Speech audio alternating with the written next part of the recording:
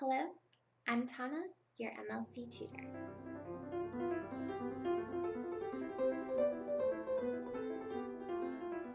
Okay, in this video I'm going to talk about Hattendorf's theorem, which is very daunting.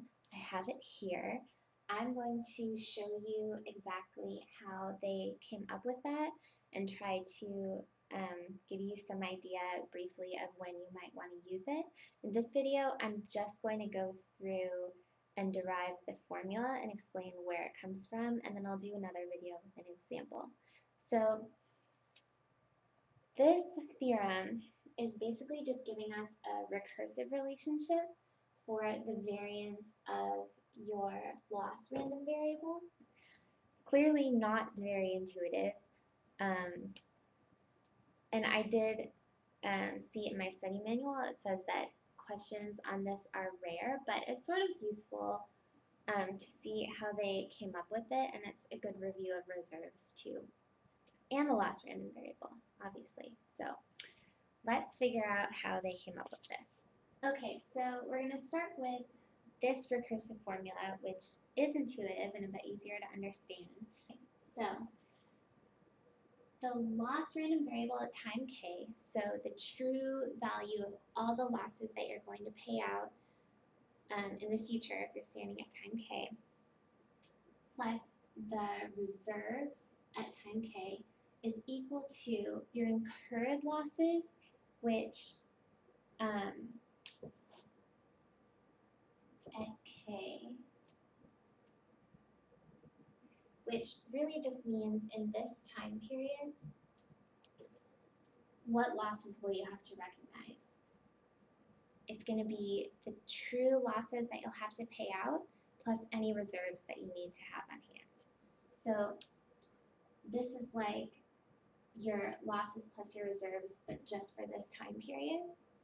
So all the losses and reserves is the losses and reserves, true losses and reserves, just for this period plus your losses then, if you're standing at k plus 1, all your future losses, plus the reserves at k plus 1. Okay, and those two will need to get discounted back to k. I'm going to go ahead and take the variance of this whole thing. Okay, now your true loss random variable is independent of your reserves, so the variance of this sum is going to be the sum of the variances. So the variance of this side will be the variance of your loss random variable at k plus the variance of your reserves at k. That's going to be equal to the variance of those incurred losses at k, which again is for the period from k to k plus 1, plus the variance of v times the uh, v times, I'm going to distribute the v and then split it up. So v times the loss, true loss random variable at k plus 1 plus the variance of v times your reserves at k plus 1. Okay, now your reserves at any given time is just a number. It's not a random variable. You can calculate how much reserves you're going to decide to have on hand. Um, so the variance of a number is zero. So that's gone, and this one is gone. Okay, so then we're left with the variance of the loss random variable at k is equal to the variance of our incurred losses at k plus the variance of our losses at k plus 1 discounted back one period. I'm going to pull out that v and square it since that's just a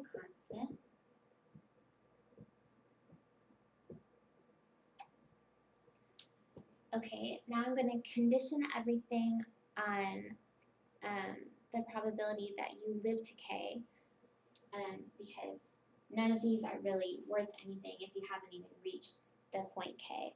So we have that the variance of the loss random variable at k, given that your curtate future lifetime is greater than or equal to k, equals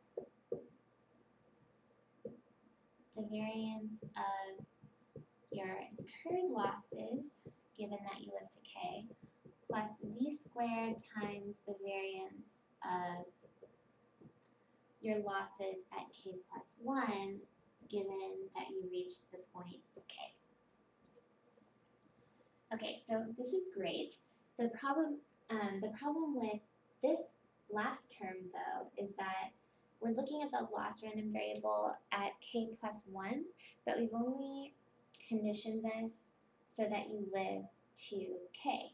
Okay, so that's not very helpful because what if you die at k and then, you know, we can't really talk about this last random variable at k plus 1 because you never made it to that point.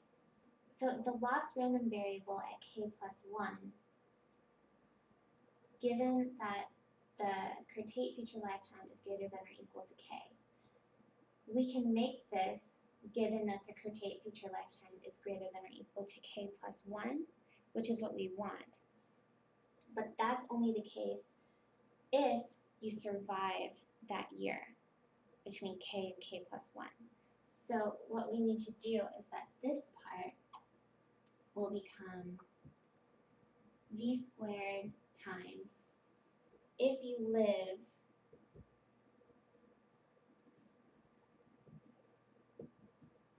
you have an x year old um, here we're saying oh, should be k. Here we're saying that they live given that they live to k we want given that they live to x plus k plus 1 so if they live this year, then we have the variance of k plus 1L, the loss random variable at k plus 1. I don't even know if you can see this anymore. but it's given that the curtate future lifetime is greater than or equal to k plus 1 now. So that's the end of this first part. We have the variance of the loss random variable at k, if you make it to k, is the variance of the incurred losses at k, if you make it to k, plus v squared times the probability of living between x plus k and x plus k plus 1 times the variance of the loss random variable at k plus 1 if you make it to k plus 1. Now I'm going to show you how to simplify this portion, the variance of the incurred losses, and then we will be done. Okay, so now we just need to find an expression for our variance of the incurred losses at k, given that you make it to k.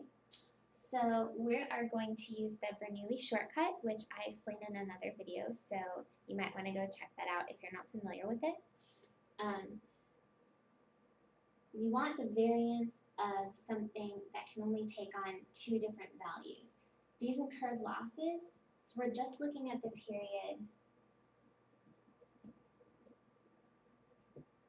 between x plus k and x plus k plus 1. So there are only two possibilities in that period. You can either live or you can die, since we're looking at curtate probabilities. So if you die, the incurred losses will be the benefit that you pay out less whatever reserves you already had on hand, this kind of offset that, discounted back one period. If you live, your incurred losses are going to be whatever new reserves you determine you need to have on hand, less the reserves that you already have on hand at K, and then that will be discounted back one period. Since this can either take on 0 or 1, it's a Bernoulli random variable, and we have a shortcut for calculating that variance. First of all, this expression simplifies down to the variance of, uh, let's see, v times x times the benefit at k plus 1 minus uh, the reserves at k plus 1 Okay, I know that v and the difference between the benefit and the reserves at k plus 1 are both just constants, so I'm going to pull them out and square them. We have v squared times the difference between the benefit and the reserves at k plus 1 squared times the variance of x, which is our Bernoulli random variable that takes on a value of either 0 or 1. We know the variance of a Bernoulli random variable is the probability of success times the probability of failure. And maybe I didn't explain this very clearly before, but we had associated x with um, what the incurred losses will be if you die. So the probability of success will be um, the probability of dying in that period, which is q x plus k.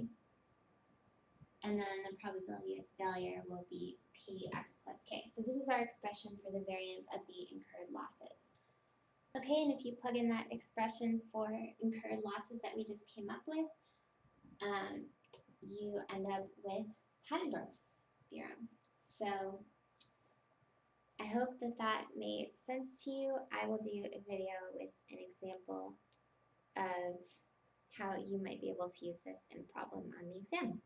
Happy studying!